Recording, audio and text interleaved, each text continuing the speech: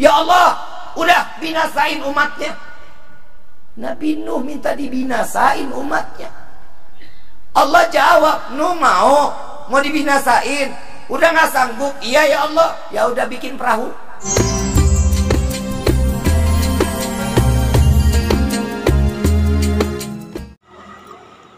Assalamualaikum warahmatullahi wabarakatuh. Alhamdulillahirrabbilalamin Wabihi nasta'inu ala umuri dunia wad din.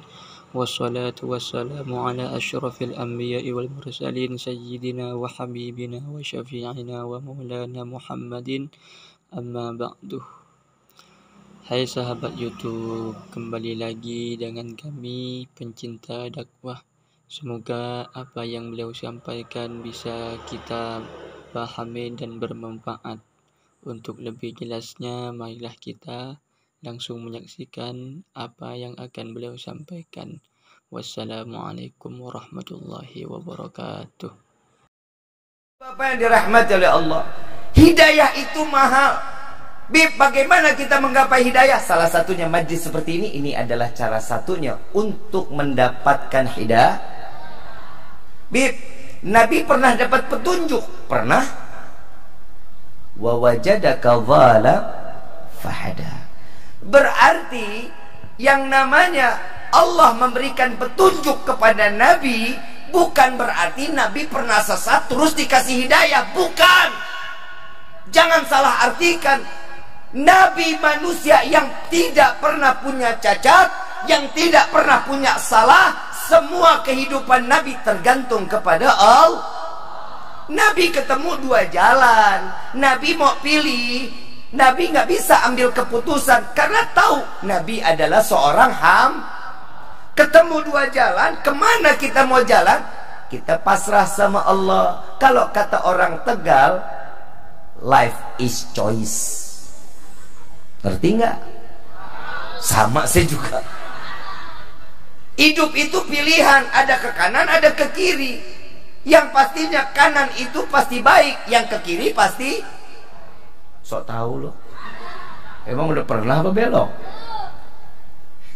Ini kehidupan yang ternyata Allah berikan petunjuk kepada Nabi ke jalan yang di mana Nabi diizinkan oleh Allah dan dituntun oleh Allah.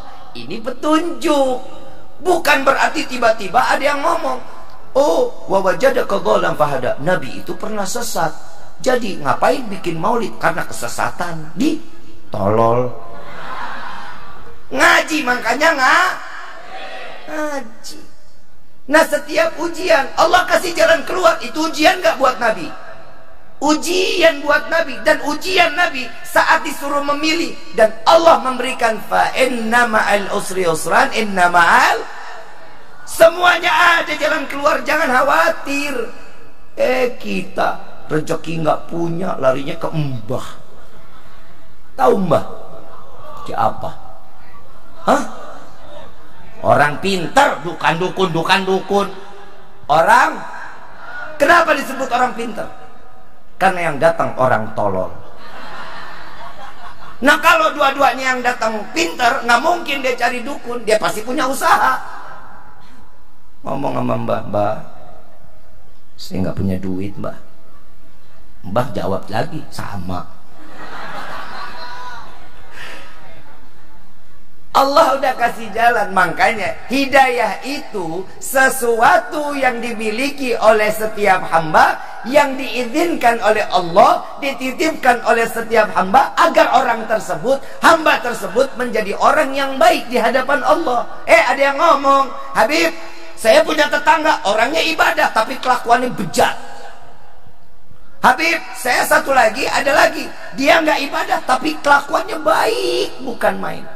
Ini udah pernah dijawab sama Imam Syafi'i. Imam Syafi'i jawab. Santri datang kepada Imam Syafi'i ditanya, wahai Imam, ada dua. Ada orang ahli ibadah, tapi kelakuannya nggak baik. Ada orang yang baik, kelakuannya baik, tapi nggak ibadah. Yang baik yang mana? Kalau kita yang ditanya, yang mana yang paling baik? Yang ibadah kelakuan nggak baik, yang nggak ibadah tapi kelakuannya baik, pilih yang mana? Yang mana? Nggak ibadah tapi Tuh, ini manusia. Tapi Imam Syafi'i jawabnya nggak pakai nafsu. Imam Syafi'i nggak pernah su'ban. Imam Syafi'i jawabannya apa? Dua-duanya baik. Orang yang ahli ibadah, dia belum berkelakuan baik, mudah-mudahan karena ibadahnya Allah berikan hidayah menjadi orang yang berkelakuan. Ada orang yang berkelakuan baik tapi dia belum bisa ibadah, belum rajin ibadahnya, mudah-mudahan karena kelakuan baik menjadi orang yang ibadah. Yang bahaya yang ketiga nih, ini kita nih. Yang ketiga kita lebih pandai menilai orang lain daripada dia harus menilai dirinya sendiri. Betul nggak? Siapa? Siapa? Kita, lo aja kali ini. Ini manusia, ternyata pikiran yang jelek dari hati yang jelek. Nah hati tempat di situlah Allah turunkan hidayah sehingga hati kita menjadi baik, jadi kita menjadi orang yang ahli ibadah. Ibadah. Faham belum?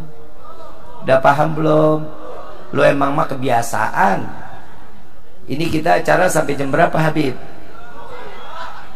Hah? Di sini katanya biasa sampai jam 11. Terus saya kalau udah keenakan ceramah bisa sampai jam 4 pagi loh. Setuju? Sanggup? Demi Allah saya enggak. Ada nggak sih orang soleh tapi ada dari keluarganya enggak Allah turunkan hidayah? Jangankan orang soleh. Nabi aja ada. Nabi. Ada keluarganya yang enggak Allah turunkan hidayah? Ada. Siapa? Yang pertama Nabi Allah Nuh alaihi salatu wassalam. Nabi Nuh punya anak. Siapa? Aan. Tukang tambal ban. Siapa? Kan? Kanan. Nabi Nuh ujiannya gede. Nabi Nuh itu punya umur 1050 tahun. Kita 1050 tahun ngapain tuh ya? 1050 tahun umur Nabi Nabi Nuh punya murid, punya umat cuma 80 orang. Dakwahnya 950 tahun. Kebayang kalau kita punya pondok, kita punya madrasah 10 tahun sekali aja cuma dapat santri satu. Hancur. Bayaran gak ada. Madrasah rubuh. Orang gak ada santrinya. Nabi Nuh nyerah di tengah jalan, ya Allah. Saya nyerah. Saya ngibarin bendera aja dah. Kenapa memang ya Nuh? Ini umat udah pada kurang ajar diajak nggak mau semasa setiap 100 tahun yang datang cuma satu. Ya Allah udah binasain umatnya. Nabi Nuh minta dibinasain umatnya. Allah jawab Nuh mau mau dibinasain. Udah nggak sanggup? Iya ya Allah. Ya udah bikin perahu. Bikin perahu ya Allah dari apa? Kayu. Kayunya dari mana ya Allah? Dari pohon. Pohonnya dari mana dikasih sama Allah tuh bibitnya. Tanam. Nabi Nuh Allah tahu betul Nabi Nuh ini udah nggak sanggup. Allah mau turunin banjir Allah mau turunin azab sebentaran tapi Allah menguji Nabi Nuh untuk diberikan satu ujian agar dia ditambahkan kesabarannya di hadapan Allah. Suruh nanam dulu. Kita mau makan nasi nyari beras gampang nggak di pasar? Coba kalau model kita kayak Nabi Nuh. Mau makan tanam dulu tuh padi. Mati masal kita. Lah orang panen tiga bulan sekali kadang enam bulan. Ini Nabi Nuh suruh nanam pohon. Begitu tanam pohon tebang. Jadiin kayu. Udah nunggunya lama ngebangunnya lama eh umatnya apa bilang? Yang kafir ini pada bilang eh lihat tuh Nuh makin gila. Nuh makin ngebangun perahu di tengah kota.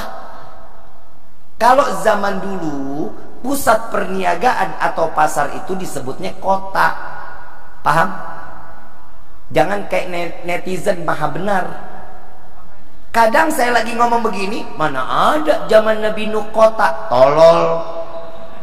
Namanya orang yang namanya kota itu pusat perniagaan. Di Tegal ada kotanya nggak? Di mana? Dekat apa jauh? Jauh. Di situ ada gedung nggak? Ada bank nggak? Ada pasar nggak? Ada swalayan nggak? Entu namanya kok. Kalau mau kota beneran Jakarta loh. Betul nggak? Cerdas, ngapa cerdas dikit jadi orang jangan bloon-bloon amat. Nah, Nabi Nuh udah ngebangun perahu, lantai pertama udah jadi, eh umat yang kafir kurang ajar, dia buang air kecil, buang air besar di perahu Nabi Nuh. MCK. Sekali dua kali semua sampai dak terakhir naik, ini kotoran udah numpuk. Ada yang mau berenang nggak lu? ada ee, ada air pipis, semuanya. Eh terakhir ada orang lumpuh gedek banget sama Nabi Nuh. Ini orang yang lumpuh bilang, eh para pemuda tolong gendong saya. Mau ke mana Tuhan? Saya mau buang air besar. Di mana? Di kapal Nabi Nuh. Ini ada kamar mandi. Nggak mau. Saya mau jadi situ. Emang dasar udah benci banget orang. Digendong sampai ke dalam perahu, ditinggal. Sama yang muda ini ditinggal Ngapain orang lagi ee diliatin? Ye, ketawa. Lu juga. Kalau ada orang tanya Habib, ciri-ciri ikhlas bagaimana sih orang yang ikhlas? Lu buang air besar, lu nggak lu tengok untuk orang yang ikhlas. Udah gua mah jawabannya gitu aja udah. Lagi ngapain sih? Udah tahu tuh kotoran, udah begitu plung masih diliatin kan bloon ya. Kenapa sayang lu sayang? Ya Allah bib, ya Allah, ya kangkung, ya.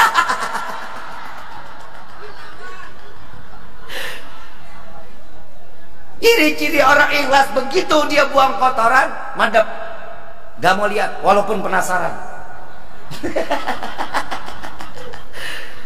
Udah lu ketawa, lu begitu kan? Sama gua.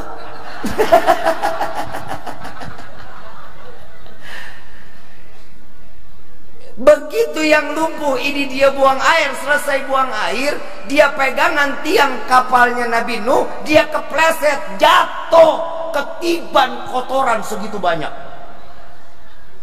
Geli nggak? Nggak usah geli kan bukan elu yang jatuh.